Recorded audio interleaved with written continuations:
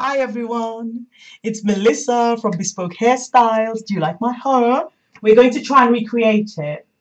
Again, I'll show you what it's like up so you understand what we're working with and whether you like the style or not.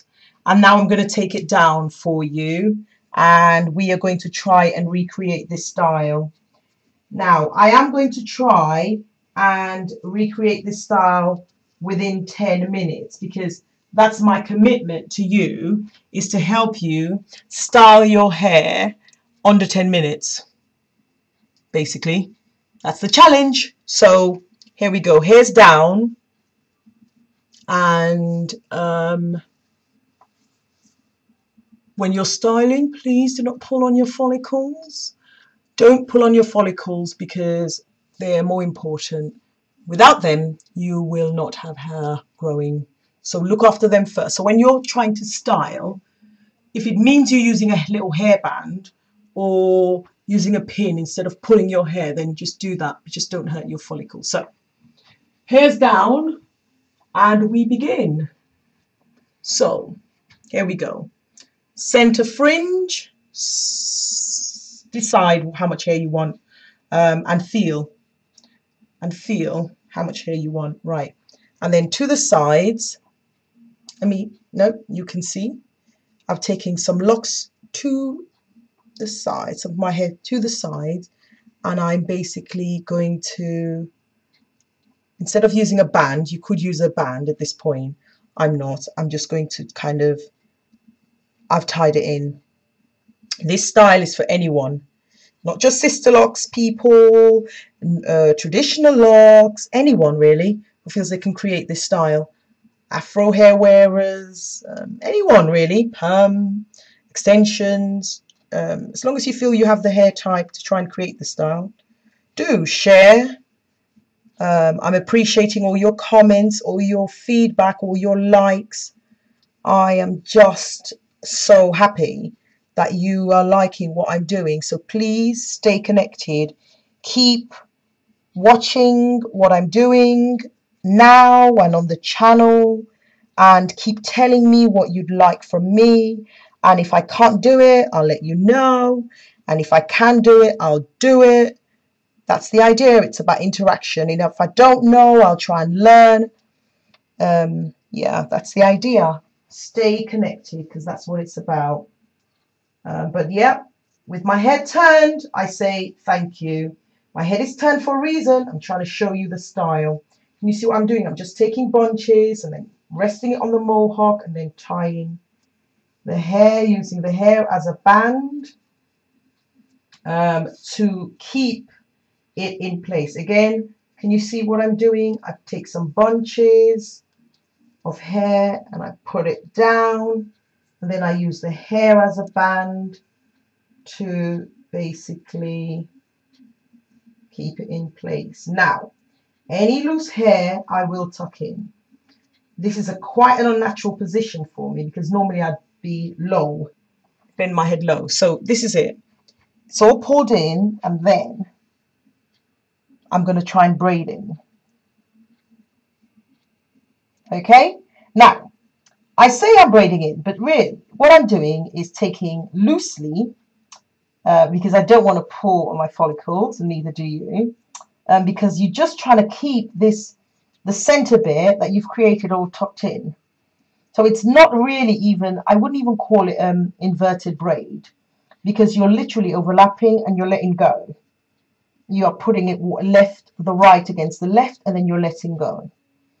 The right few see, I've just got like two and you're letting go. I've got another two and you're letting go.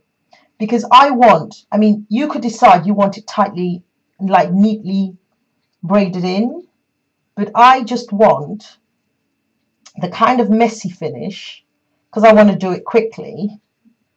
Um, and I like that look basically. And I also don't want to pull on my follicles. So that's why I'm kind of just using the edges to tuck to literally just kind of hold it in.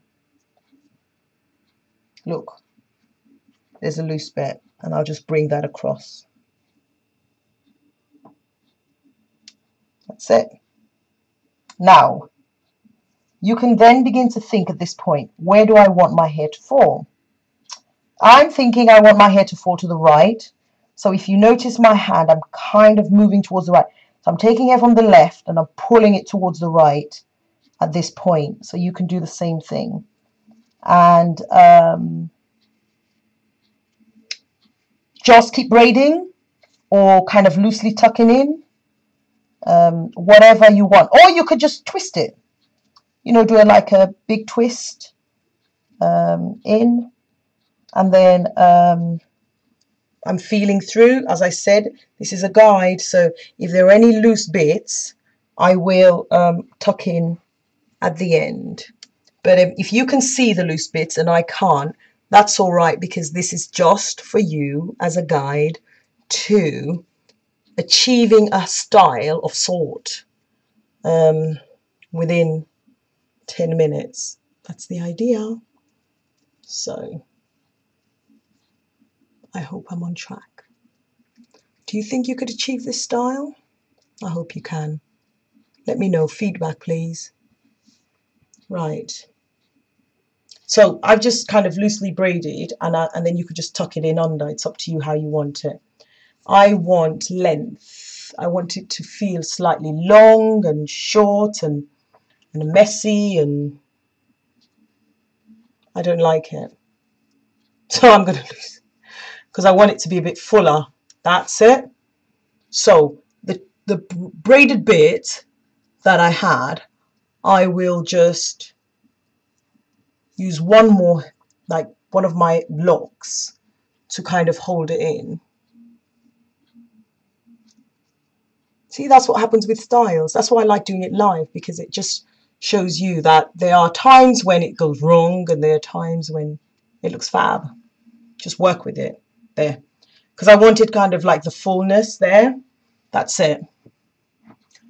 Do you like? Let me know. Feedback, please. Um, that's it. Ooh. Thank you everyone for watching this watching this video and let me know if you are able to recreate it.